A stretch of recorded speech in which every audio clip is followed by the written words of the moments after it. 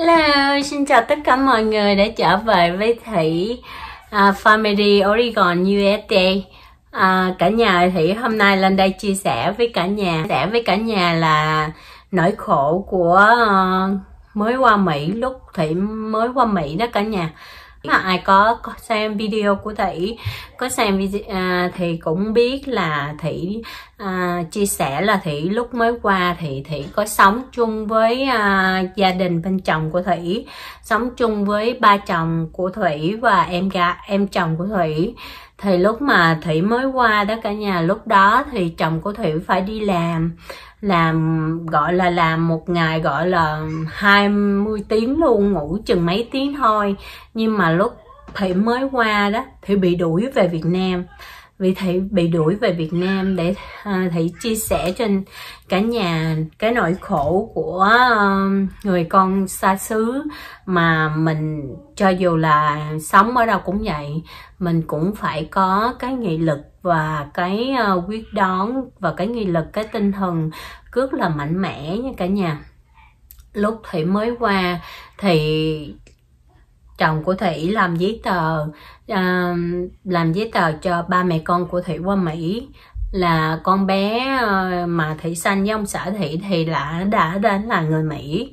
Thì không có cần phải làm giấy tờ nhưng mà phải làm giấy tờ cho thủy và hai đứa con nhật của thủy qua mỹ.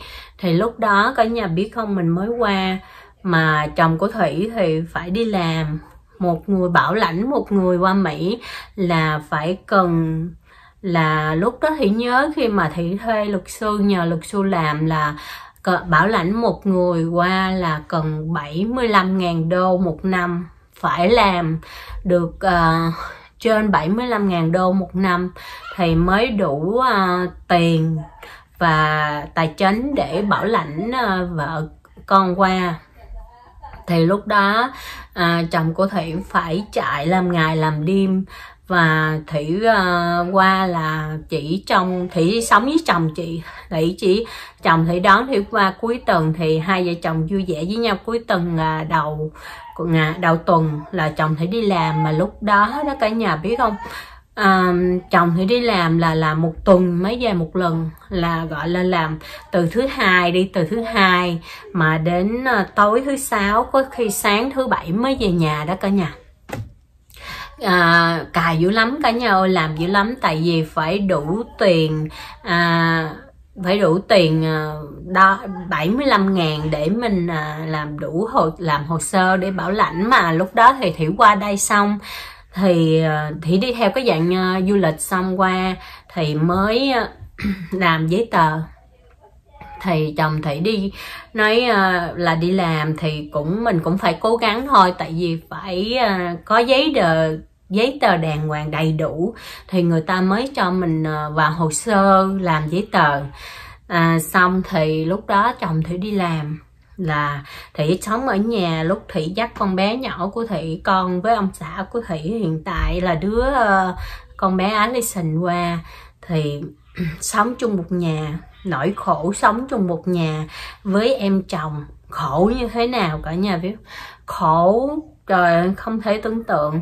Đi đâu thì cũng không đi đâu ở nhà chăm con rồi cho con lên xe buýt đi học. Tại con có thể là lấy giấy tờ mỹ cho nên qua một tháng sau là nó được du học rồi. Thì mình ở nhà thôi. Thì thì ở nhà và thủy mới thấy nhà bề bộn quá. Tại vì à, à bên à, em chồng của thủy thì người mỹ cả nhà họ không có quan tâm nhiều giống như là với lời chồng của thủy cũng là gia đình ở quê nữa. Chứ không phải là giàu có gì cũng dân quê cũng sống bình thường thôi. Thì mình cũng dọn dẹp phụ giống như mình thấy ở nhà. Thì mình dọn dẹp phụ thì chồng thì đi làm là thứ hai đến tối thứ sáu sáng thứ bảy mới về. Thì lúc đó thì mới uh, sống ở nhà nhà thì mình thấy nhà của dọn mình dọn dẹp phụ mà cả nhà mình uh, quét dọn đồ này kia vậy mà không chịu nha cả nhà. Vậy mà không chịu mà hả gai với thủy và thủy dọn dẹp uh, đồ này kia thì mới nói uh, gai với thủy là nói là uh, đồ của tao uh, mày đừng có đụng vào. Mà trong khi đó cái nhà đó đó cả nhà à, cái nhà đó là chồng của thủy bỏ tiền ra thuê cho mẹ con của thủy qua thì em chồng của thủy á, mới nói là không có tiền không có tiền để à, thuê nhà thì muốn vô đó ở trong vòng mấy tháng để để để dành tiền và thuê nhà và để dành tiền thuê nhà và và và đi thuê nhà ngoài. Thì lúc đó thì à, thủy qua thì tụi nó à, chưa có ra. Ra ngoài thuê nhà thì cũng sống vậy. Thì lúc đó thị với chồng thị phải gửi tiền về à, bên nhật cho hai đứa con lớn của thị à, để sống đó.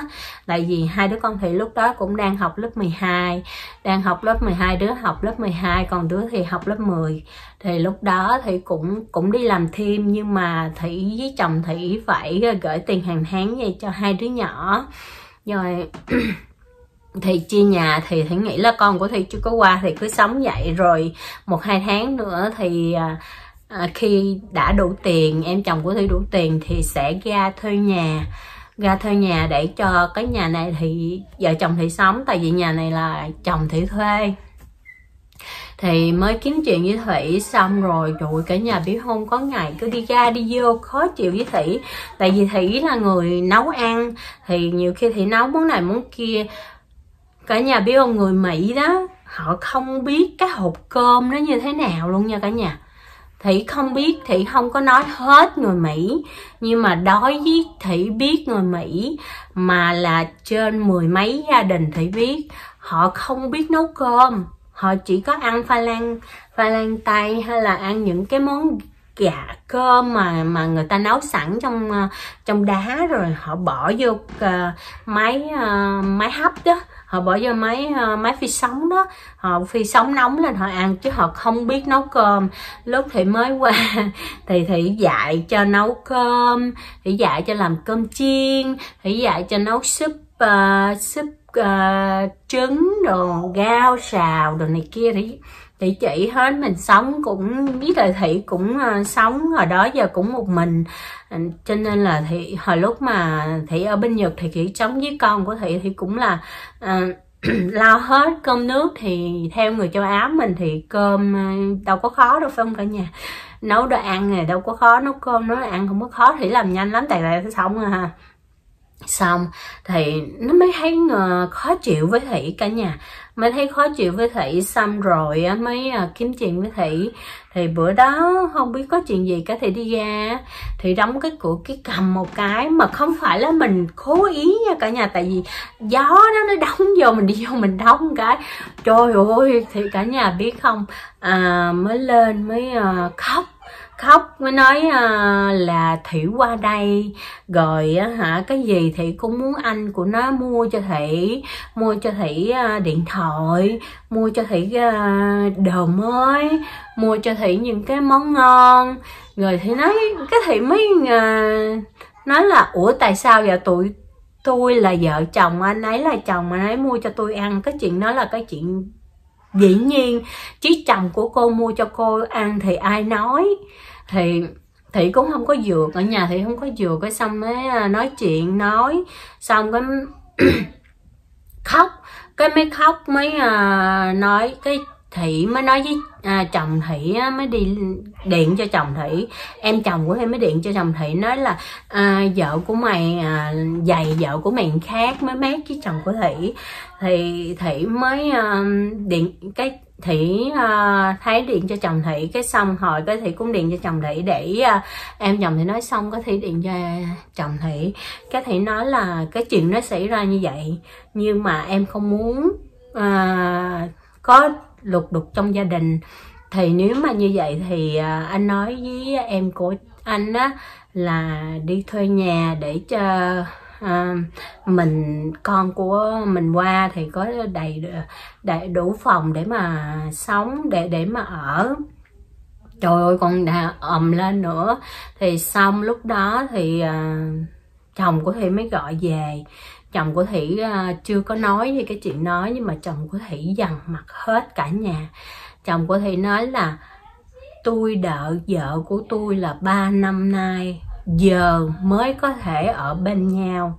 Những ai mà đang sống trong nhà của tôi mà không làm được cho vợ của tôi vui thì đi ra khỏi nhà trong vòng một tuần lễ. Nếu không, tôi còn nghe gì mà vợ tôi nói, mà vợ tôi buồn, thì tôi về tôi sẽ dục đồ các người ra ngoài. Trời ơi chồng thị á, mới gọi điện nói với nó, với con nhỏ em chồng của thị. Thì em chồng của thị nó càng điên lên. Thì nó điên lên thì nó lại mét ba chồng của thủy. Thì nói à, từ đó giờ vợ của à, nó chưa có qua. Thì nó lại á, thương con. À, coi em à, thương em như vậy bây giờ vợ qua chỉ có biết vợ thôi không biết ai ngoài vợ mình nữa. Bây giờ nó à, anh à, đòi đuổi con ra khỏi nhà ba thấy sao? Ba chồng của thủy là người rất rất rất thương chồng của Thủy. Là người kêu chồng của Thủy phải ra lính và về sống với ba chồng của Thủy. Để cho ba chồng của Thủy những ngày cuối đời sống gần bên con trai. Cho dù là con, ba chồng của Thủy không phải chồng Thủy là một đứa con trai duy nhất là được mấy đứa, nhưng mà ổng rất thương con, chồng của Thủy. Thì ba chồng của Thủy mới nói là anh của um, con nói lời sao thì nghe như vậy? Không có được cãi lời tại vì tại sao con anh đi làm xa mà ở nhà lại làm cho chị dâu buồn? Thì vậy mà thị cũng không có làm gì hết trơn cả nhà thị chỉ có dọn dẹp nhà cửa thôi mà thị đụng tới đồ nào là khó chịu đồ đó. Công nhận người mỹ như mình á thì sống chung với người mỹ thì mới học được một cái là mình phải cứng mình phải cứng với họ. Chứ mà để họ ăn hiếp mình một lần là họ sẽ ăn hiếp mình lần thứ hai. Cho nên cái sống của thị thì không ăn hiếp ai. Thị không có làm khó ai nhưng mà đừng đụng tới thị đừng đụng tới thị tại vì thị không phải là dân để dễ ăn hiếp nha cả nhà. Thì khi mà sự việc xảy ra khi mà sự việc xảy ra đó cả nhà xong thì thị mới uh, nghĩ là như vậy thôi thì uh, mình sống không yên. Thì thôi bây giờ thì cái nhà đó thị mới nói với chồng của thị khi mà chồng thị cuối tuần về thì thị mới nói với chồng của thị là em không muốn trong gia đình của anh lục đục. Vì em là người mới. Vợ chồng mình thì sống lâu với nhau, hiểu nhau, nhưng mà em là một người mới mới qua. Thì em không có muốn là anh có chuyện với anh em của anh và gây lộn hay vì em, hay là để cho ba không vui. Thì cứ bây giờ bình thường, hai vợ chồng mình sẽ cố gắng để đi ra có khỏi nhà, đi ra khỏi nhà này. Tại vì cái nhà đó là nhà của chồng thủy thuê, chồng thủy đóng chồng thủy là người đóng tiền cọc nhà, chồng của thủy thuê và chồng của thủy phải trả cái tiền nhà đó là 1.500 đô mỗi tháng, là một tay chồng của Thị lo trong vòng 3 năm lúc mà Thị không có, Thị chưa có qua Mỹ. Thì chưa có qua Mỹ là tại vì chồng của thủy nghĩ là cái nhà đó là để chồng Thị thuê cho mẹ con có thể qua ở chứ không phải để chia với ai hết. Nhưng mà khi em chồng của thủy năng nỉ quá thì chồng thủy lại thương cho vào ở. Thì uh, sau đó thì thủy với chồng thủy thì thủy uh, tại vì thủy không có muốn làm lớn chuyện và lên và cả nhà biết không em chồng của thủy nói với thủy sao không? Em chồng của thủy nói là mày đi về Việt Nam, mày là người Việt Nam thì mày đi về xứ sở đất nước của mày sống. Mày đừng có sống ở ở Mỹ. Đất nước Mỹ không có để chừa chân cho mày, chừa chỗ cho mày. Nói thì như vậy luôn. Thì lúc đó thì mới đứng thì nói, ủa, tổng thống còn chưa đuổi tao về Việt Nam mà mày có quyền gì mày đuổi tao về Việt Nam? Thử thử mày đụng vô tao một cái coi cảnh sát có lợi tóm đầu mày đi hay không. Trong vòng 5 phút, mày nghĩ là mày dễ ăn hiếp tao lắm hả? Đó, cả nhà thấy ông mà nói với thị bằng tiếng Anh thì lúc thị cũng chập chững tiếng Anh thôi. Thì thị mới nói nó lại là như vậy. Thì nó mới leo lên xe nó đi. Nó leo lên xe nó đi, nó không ờ, nói gì nữa hết và từ đó thì sống ở trong một nhà nhưng mà nó rất là lục đục, lộn xộn cả nhà. Rất rất là khó, đủ thứ chuyện. Cho dù là thị nói như thế nào, tại vì thị là người sống ở nước ngoài đã lâu thì thị biết được cái luật ở nước ngoài. Khi mà các bạn sống ở Việt Nam cái cái luật nó à, cái cái ờ, nó khác là tại sao mình thấy con của người ta đó mà dễ thương thì mình cho con người ta cục kẹo hay là mình cho con người ta một cái bánh mình nói ăn đi con hay dễ thương cô cho con nè. Ở nước ngoài là không được. Ở nước ngoài là không được. Khi mình muốn cho con người ta một cái món gì đó mình phải hỏi qua cha mẹ của cái đứa bé đó khi họ đồng ý mình mới có thể cho.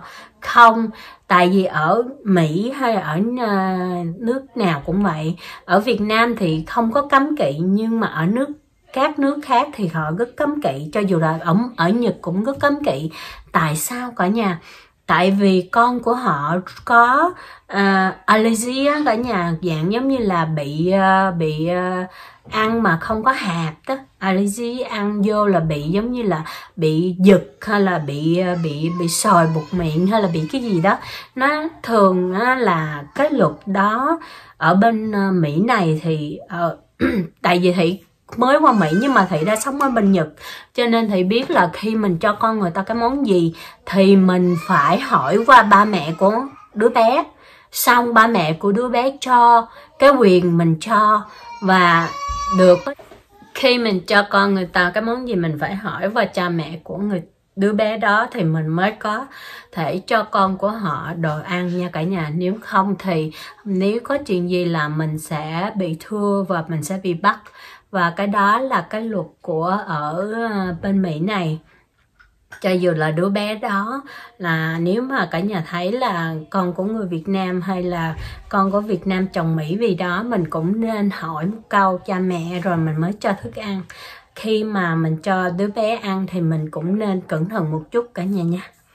Và khi cái uh, việc đó thì nói là tại sao khi thủy à, nói với em chồng của thủy là mua đồ về cho con của thủy. Thì nên cho thủy biết qua một tiếng, tại vì thủy muốn biết là con của thủy ăn cái gì trong ngày. Để cho khi mà con mình có chuyện gì, thì mình còn có biết để mình nói với bác sĩ là con tôi trong hôm nay ăn món gì món gì? Thường là con Thủy. Ở đó thì Thủy sống là single mom một, đó cả nhà. Cho nên là rất là kỹ với con của mình. Thì thị nói với em chồng của thị như vậy thì em chồng của thị nói là không có thị không có cái quyền để cấm cho uh, cấm nó, nó cấm em chồng của thị cho cho cháu bánh. Nói là thủy không có cái quyền đó. Thủy nói là cái quyền đó là cái quyền của cha mẹ là tại sao không có quyền? Nếu mà tôi có chuyện gì mất đi, thì cái quyền mà cô nuôi cũng chưa có đến quyền cô. Khi mà nhà nước đã quyết định cho ai nuôi nếu mà đứa bé không còn cha hay mẹ. Ở Mỹ là như vậy, đừng nghĩ tôi mới qua Mỹ là muốn ăn hiếp, không có chuyện đó. Thì thị nói là nếu mà chịu, nếu mà theo cái ý của thị mỗi lần cho con của thị đồ ăn thì phải hỏi qua thị còn không thì thị không cần cho cái món gì hết và thị sẽ cấm con của thị không nói chuyện và không à, lấy những gì mà cô cho. Thì nó con con nhỏ em chồng của thị nó mới cứng miệng nó không có nói lại người mỹ. Họ cho dù là em chồng hay là như thế nào họ cũng ăn hiếp mình khi mình mới đi qua xứ của họ nha cả nhà. Chứ không phải ai cũng được yêu thương mà giống như là mình nghĩ trong ờ, trong đầu của mình, khi mình đến nhà của họ thì họ sẽ yêu thương mình, không có chuyện đó. Nhưng mà đối với thị thì không phải dễ ăn hiếp nha cả nhà. Thì cũng vậy thôi. Thì thị mới nói với chồng thị nếu mà em không có muốn, nếu mà em chồng của, em của anh muốn cái nhà này, thì mình sẽ để lại cái nhà này cho cha của anh ở và mình sẽ đi ra thuê nhà khác và vợ chồng của Thị chuẩn bị trong vòng 6 tháng để dọn cái nhà đi. Cả nhà biết không, khi mà chồng Thị về nói nếu mà nếu mà không không làm cho thị vui được thì đừng ở trong cái nhà này và một, hai nữa, thì em chồng của thị mới nghĩ sợ cả nhà. Tại vì người mỹ đó, họ không có giống như là người châu á mình. Họ không có ăn hôm nay mà tính đến một tháng sau họ ăn hôm nay. Họ nghĩ chưa tới ngày mai nữa đó cả nhà. Một tháng của họ lãnh lương ra, họ tính trả tiền này tiền kia xong, chắc họ cũng còn chừng 100 200 đô để sử dụng những những thứ mà nhỏ nhỏ cần thiết thôi là họ thấy rất là vui rồi thì cái đó là theo phần của gia đình của thị thôi. Còn những người giàu mà gọi là ở New York hay những người kinh doanh giàu sang thì thị không biết tới. Nhưng mà thường người Mỹ thì họ không có lo xa lo xa giống như người Việt mình. Thì nói chung là gia đình của thị cũng, gia đình bên chồng của thị gia đình của chồng thị là chồng thị cũng là dân nghèo, không có giàu nhưng mà được một cái là chồng thị rất thương yêu thị và thương yêu gia con của thị gia đình chăm lo. Đó là cái mà thị rất là vui và rất là hạnh phúc. Cho dù mình có tiền mà mình không mình không có được một người chồng yêu thương mình thì cũng vô giá trị phải không cả nhà? Cho dù là bao nhiêu tiền đi nữa. Thì đó là một à, xong thì thị mới à, nói với chồng thị là thị không có muốn là gia đình lục đục nữa. Hai vợ chồng thị sẽ đi ra ngoài thuê nhà khác và chuẩn bị. Thì trong vòng đó thì chồng của thị mới nói là bây giờ bắt đầu là chia tiền trả nhà đi. Chia tiền trả nhà đi cho à, là 150 đô thì chia ra bao nhiêu đó một người phân nữa và điện nước tất cả là phải chia ra đôi hết. Tại chồng thì nói là bây giờ không có thể làm như vậy nữa. Thì à, xong thì chồng có thể nói nếu mà em muốn cái nhà này thì anh sẽ để cái nhà này lại cho em và những cái tiền đặt cọc anh sẽ đi ra với vợ của anh hai vợ chồng anh sẽ đi ra và hai vợ chồng anh sẽ thuê một cái nhà khác và sống. Thì em chồng của thị mới năn nỉ với chồng thị là cho nó à, uh, 6 tháng 6 tháng để chuẩn bị để uh, có tiền ở trong uh, thuê cái nhà đó và trả vào hàng tháng nha cả nhà. Thấy không? Vậy mà còn ăn hiếp thị nữa đó. Vậy mà còn ăn hiếp chứ đừng có nói mà giàu có giàu có mà, hả, có tiền ấy rồi này kia. Tại vì á, hả, người ta thấy mình á, ở đâu cũng vậy. Mới là hay bị ăn hiếp lắm cả nhà. Nhưng mà thị thì thị sống là không có muốn cho cái chuyện của, cái chuyện lớn lớn quá. Thì cái gì chuyện lớn thì muốn làm nhỏ lại và sống cho im điềm tại vì dù sao, đó cũng là em chồng của thủy. Và thủy cứ nghĩ là mình càng làm lớn chuyện mình càng gây nhiều thì à, sau này lại không có tốt. Vậy cho nên là thị cũng không có nói nhiều nhưng mà không có đụng tới thị thôi. Và sau cái cái lộn đó thì cô ta rất là thương thị thì ngược lại một trăm phần trăm cô ta cướp cướp thương thị lúc thị có bầu đứa thứ hai là bé lấy lì thì cô ta đã chuẩn bị hết tất cả để làm cho thủy một cái baby shower là gia đình là em chồng của thủy và hai đứa ba đứa em chồng của thủy chuẩn bị cho thủy một cái buổi tiệc rất là dễ thương. Và sau đó thì thủy nói cái gì cũng nghe cả nhà không hiểu sao. Tại vì thủy nói với à, lúc mà gây lên á nếu mà thủy suối chồng thủy đuổi đi ra khỏi cũng được nhưng mà thủy là người à, không có muốn xé ra chuyện nhỏ ra to. Cho nên thị nói là mình tự giải quyết cho mình. Nếu mà mình thấy cái việc đó không không được thì mình cứ tránh ra xa. Mình thấy cái người đó mà mình chơi không xong thì càng ngày mình càng tránh ra xa. Cho dù mình vẫn nói chuyện với họ nhưng mà mình sẽ giữ một cái góc độ nào để mình tránh họ em chồng của thủy mới từ đó về sau, không hiểu sao là đổi một trăm phần trăm là thương thủy lắm cả nhà ơi. Mua cái gì cũng mua cho thủy hết. Và không hiểu sao nữa chắc có lẽ là nghĩ mình không ăn hiếp được nữa hay sao? Thì cũng không biết nữa. Cảm ơn cả nhà đã xem uh, chia sẻ của thủy. Thủy lên đây là chia sẻ với cả nhà biết là thủy là người đã sống ở nước ngoài cũng nhiều năm mà vẫn bị ăn hiếp nha cả nhà. Vẫn bị ăn hiếp cho nên là um, nếu mà chị em phụ nữ nào sắp qua Mỹ sống thì uh, mình nên uh, khôn ngoan một chút cư xử mọi thứ à, nhanh lẹ một chút để cho mình đừng bị ăn hiếp.